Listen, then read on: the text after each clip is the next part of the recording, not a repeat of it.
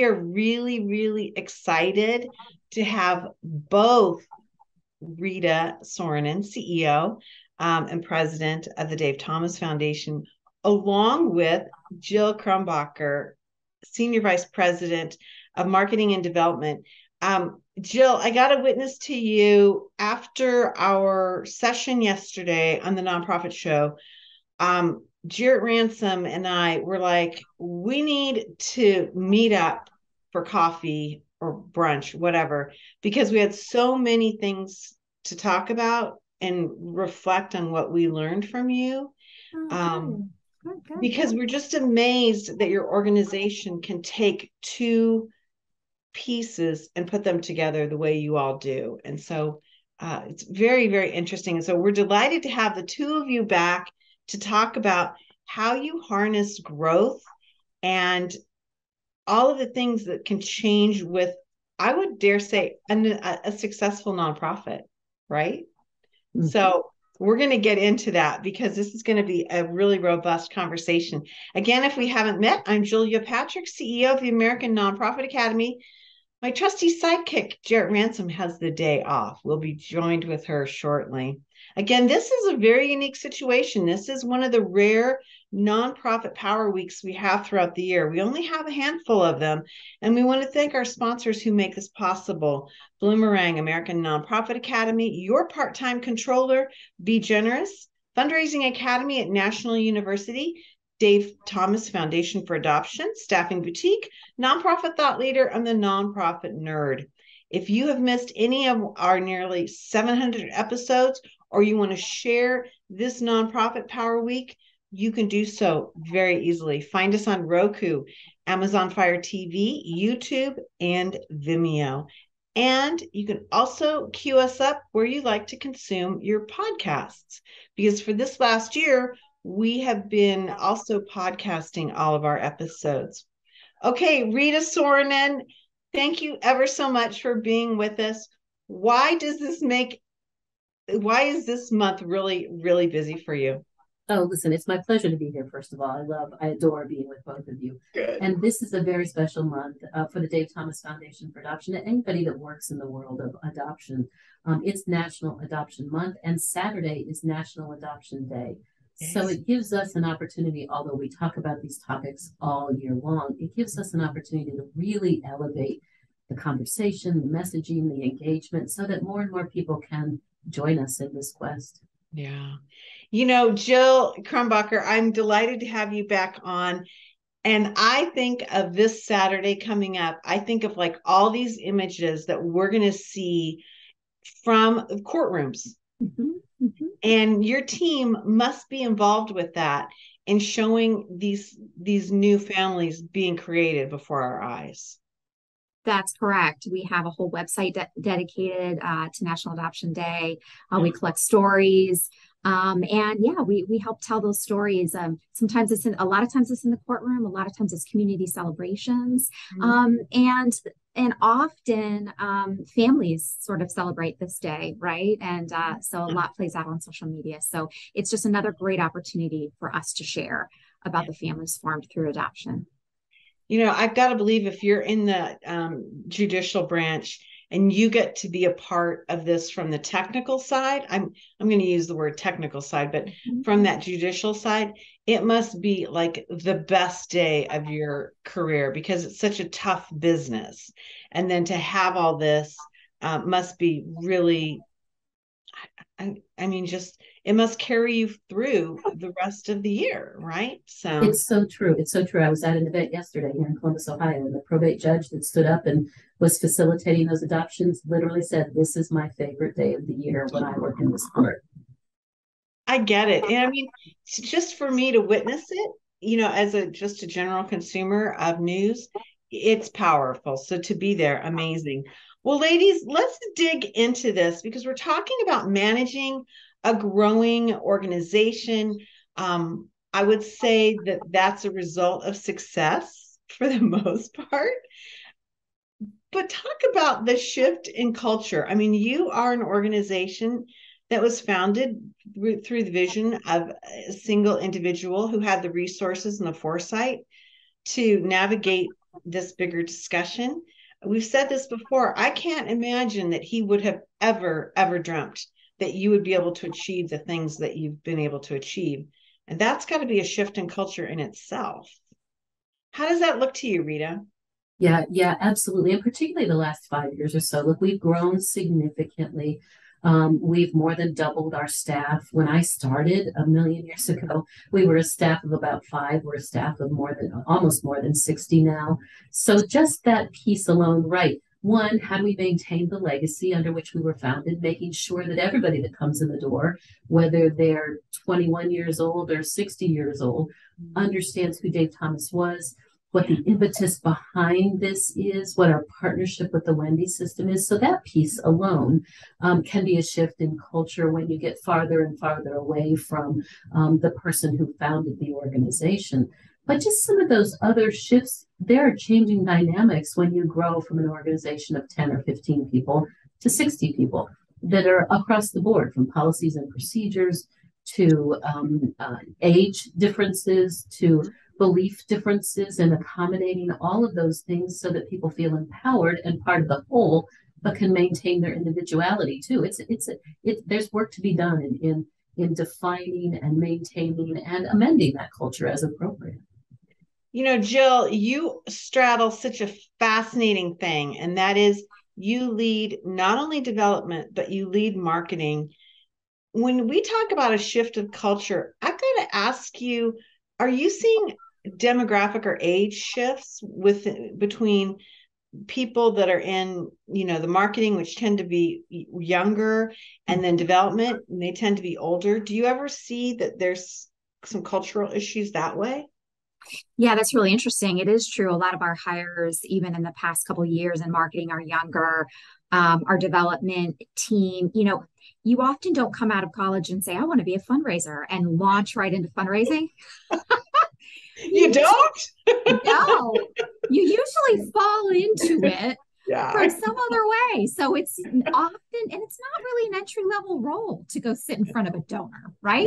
No, um, that takes some time. And so for sure, I do think um, that difference in experience level and then what comes with that often age, backgrounds um, can play out a little bit culturally. Just what um, teams want to do, what they expect. You know, a lot of the younger folks, um, maybe they don't have family responsibilities yet, and they want to go start a volleyball team, and they, or they want to go to lunch a lot, or they want, you know, those kinds of things. And you know, the staff that might be further along, maybe they have families, and they just want to get in get their work done and get home and spend time with family right? And so um, those kind of cultural things that we found that there's just differences even in those kinds of preferences like what do you want your work family to be? How much time do you want to spend with them? Those kinds of things certainly play out.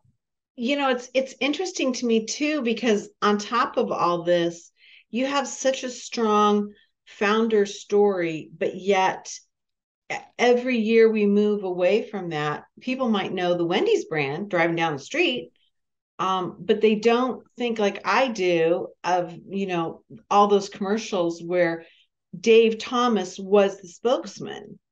And so how do you, you know, you you mentioned Rita in the beginning, aligning what that history is to the new hires and the existing, but the number of people that knew him or could recognize him are getting fewer and fewer, right? Yeah, yeah, it's true. Absolutely true. And so it's our job to make sure we are the Dave Thomas Foundation for Adoption, that there's meaning behind that name. Yeah. Part of that is the Thomas family still sits on the board of trustees. So we keep it at a governance level. Um, we and that includes Wendy Thomas, for whom the, the brand is named. And so we, as we can, we include her in conversations with staff or invite her to meetings, make sure that she can firsthand tell that story. But mm-hmm. part of the onboarding process is making sure that people remember, or if they don't remember, know who this man is and why, what that link to the foundation is. It's not just that he created a foundation in his name, he created it because it was personal to him, because it's about adoption. And so that provides that glue, but it's on, I think, leadership's shoulders to make sure that that it's woven throughout all that that we do it particularly you know for example this week wendy's is celebrating founders week the first wendy's restaurant was november 15th 1969 so it's a parallel between the dave thomas foundation for adoption national adoption month and Wendy's Founders Week. That gives us another in in linking these two, not just brands, but Dave Thomas to what we do for the staff and for other people that are interested in who we are.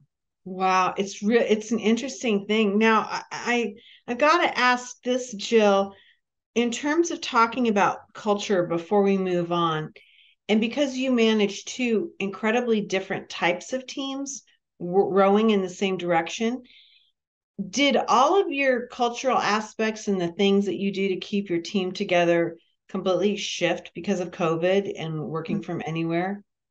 Oh, yes, absolutely. We all had to get up to speed with technology. Even after we came back in the building, we um, decided to allow some remaining flexibility. So, a uh, certain number of days we want people to be in the office, and a certain number of days um, they can opt to, to work from home. And so, when we have department meetings.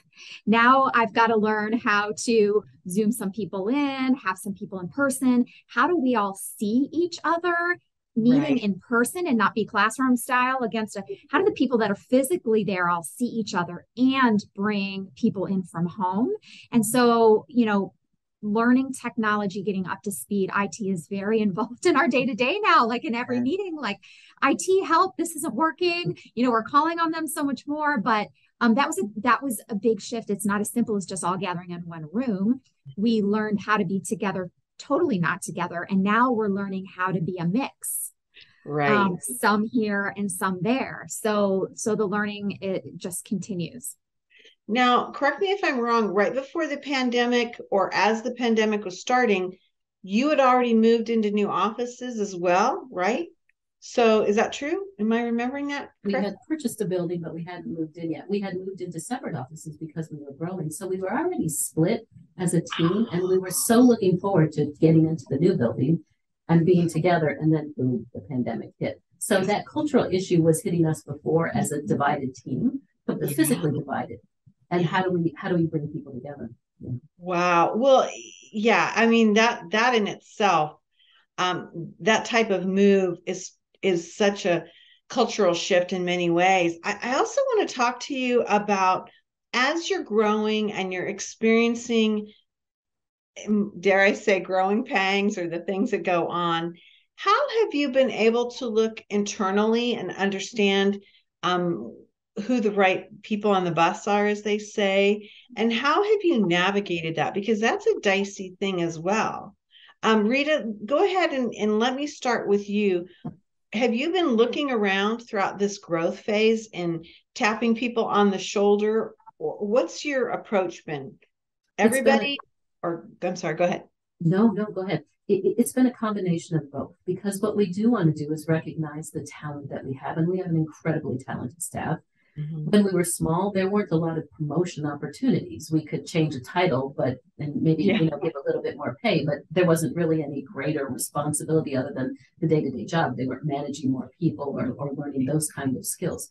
But as we grew, we wanted to tap into that, and we've developed a, a fairly robust system of not only annual review that everyone has to do and recognizing what people do, but talent identification as well as part of that. So help us understand um, in addition to what we see every day, what are your skills? What are your aspirations for growth? Where would you like to go in this organization? How can we provide support to help you get into that, perhaps a different position or a management position? We can't guarantee it, but let's all be open about it and talk about it. So we've developed a pretty, I think, rigorous process of identifying talent and promoting talent within when we can. And if it's not there, then certainly looking outside of the organization. Right.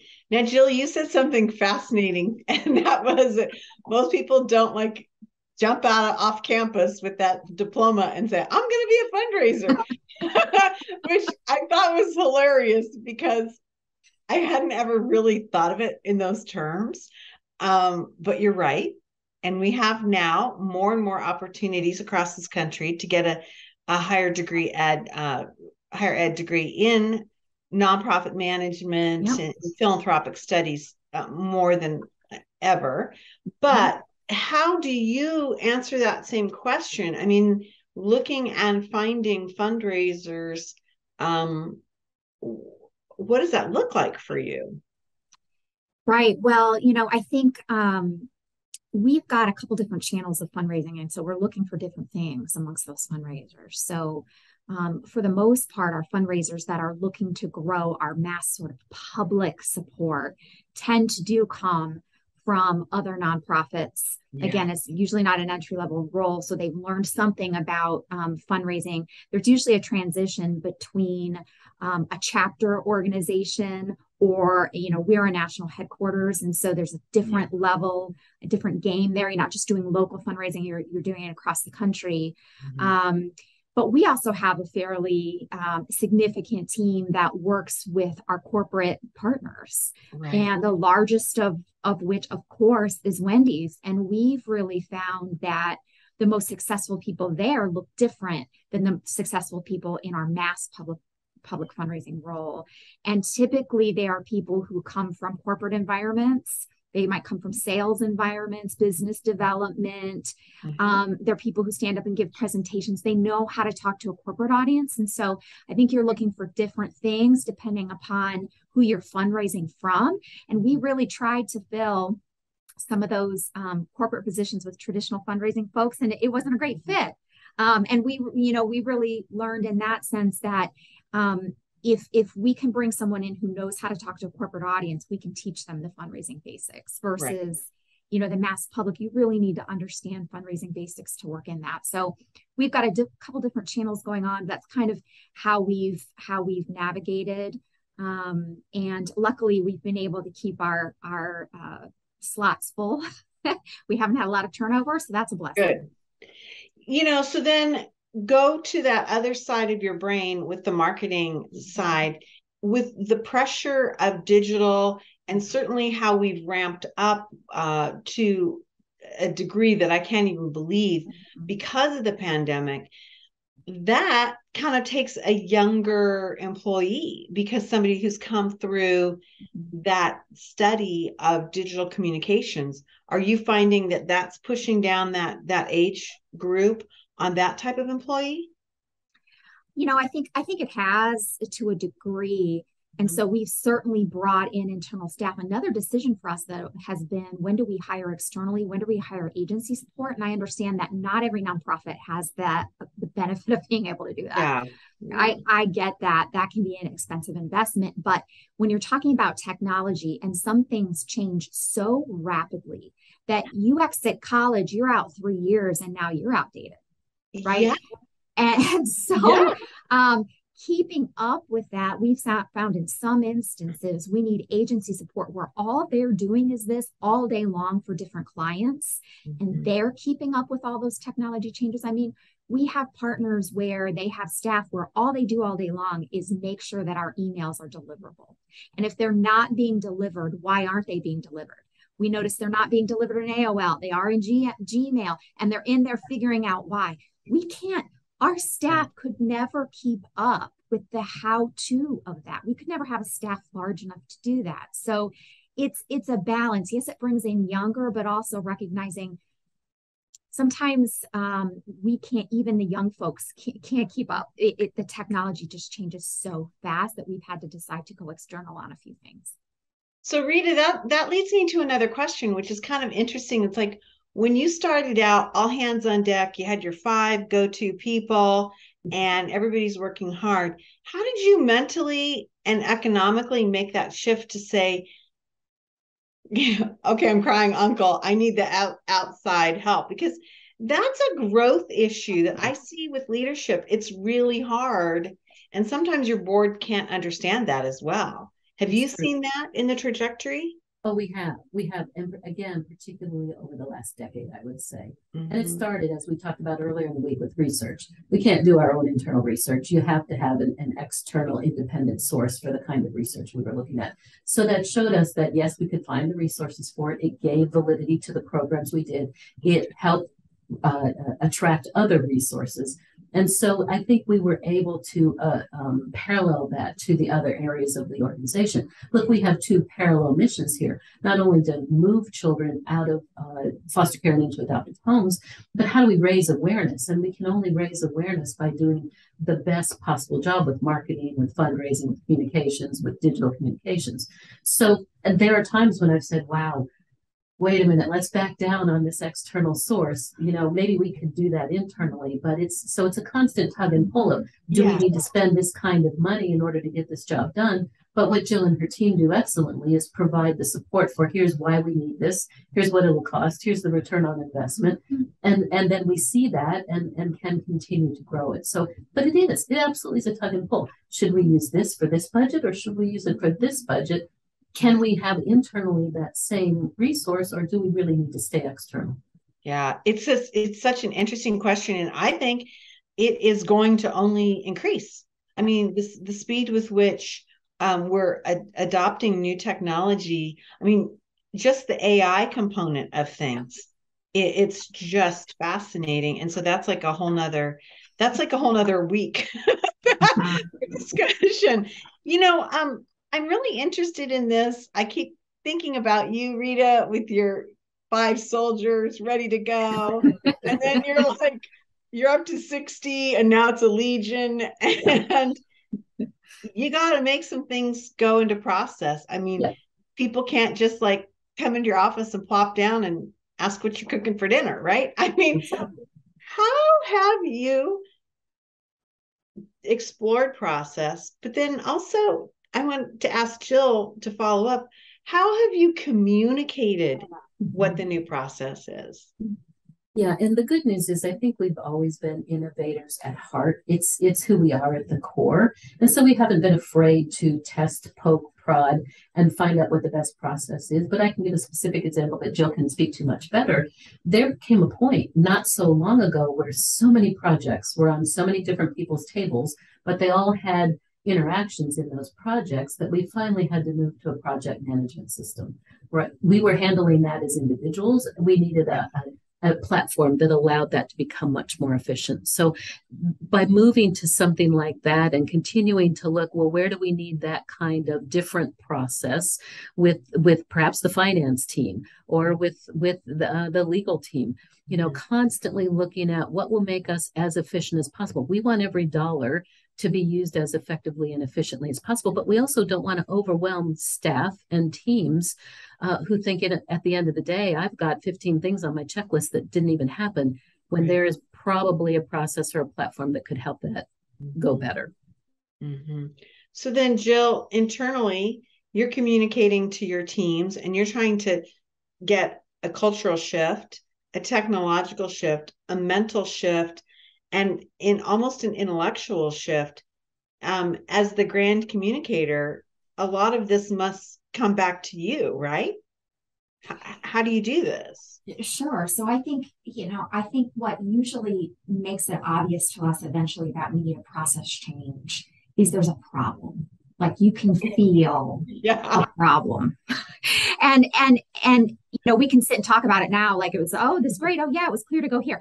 No i mean i think i how it usually plays out is something's not working. Somebody something's feeling overwhelmed or deadlines are being missed or my day feels chaotic and i cannot keep up or you know whatever it is. And then you start to try to find the solution to that problem and you find your way through it until you find it and it works. So i think when you're trying to communicate a process change we we communicated here's the problem we're having. Do you all feel it? Are you feeling this? Yes i'm feeling this. Okay we're going to change this process to help get try to get rid of this problem. We're hopeful that this will alleviate all of these problems for you um, and for all of us. And i think that's the way we communicated and people are much more receptive to we're not just doing it to make you you know another system you have to learn or something like that. We're doing this for a reason because you know we're hitting a wall. We're struggling with something and we need to find a solution and we're hopeful that this is the solution. So get on board with us and hopefully it'll pay off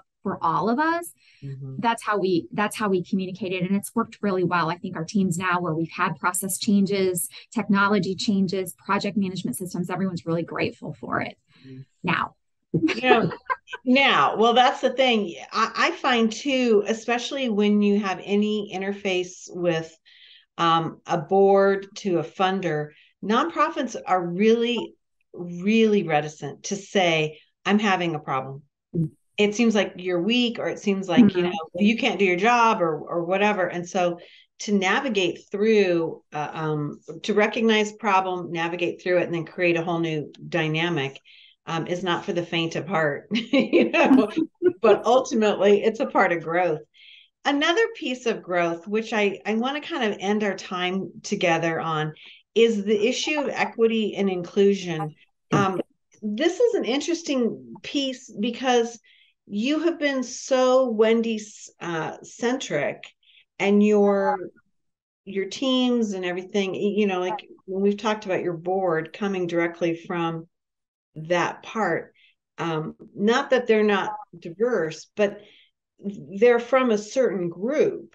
How have you opened this up or had those discussions? Is it ongoing? What are your what are some of your thoughts on this rita? The, the communication is ongoing the discussions are ongoing the, the tactics are very specific during the pandemic, we all were kind of slapped in the face with the recognition that none of us, none of us across the country were doing enough with racial equity and inclusion issues.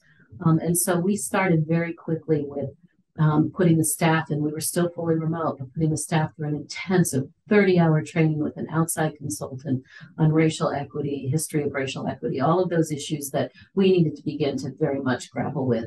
We then created an internal equity team that's made up of staff um, so that we can explore all the areas of the foundation from equal pay to um, attracting uh, staff, diverse staff to, you know, all those issues that, that we we were conscious of, but we weren't being very proactive about we are now very proactive and accountable for uh, making sure that we are a, a, an organization that someone from the outside could look at and say they're very much committed to racial equity, social justice. Look, we're in a system where the overrepresentation of particularly Black children in the child welfare system is profound. So we can't any longer have a blind eye to that or not know if we're contributing negatively to it or if we're contributing positively to cha- making change. So it started internally. We'll continue that externally, and the board is all in on that as well. Okay, so then, Jill, I got to ask the next level of that question. And again, we don't have a lot of time, but did that inform changes with your marketing and communications?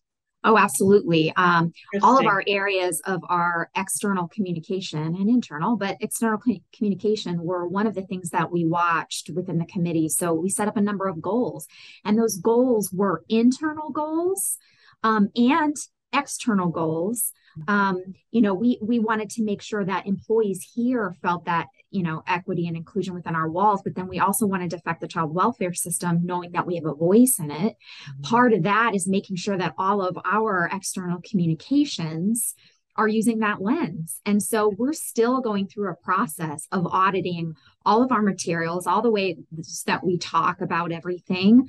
Um, and, it, you know, it's a um, company wide, cross department, um, sort of employee led group of people that are taking the magnifying glass, again, getting external help.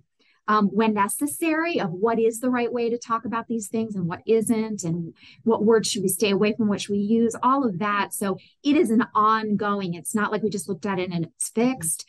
Um, you know, it takes a while to go through with all of that, but I think the important thing is that we're committed to the long haul of staying with it and continually auditing ourselves mm-hmm. um, and, and trying to do better.